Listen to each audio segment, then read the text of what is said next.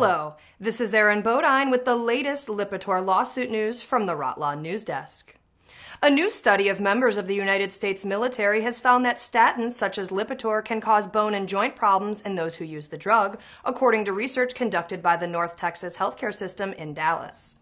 This is in addition to the serious adverse side effects, such as type 2 diabetes in women, that are already linked to the drug by other research studies.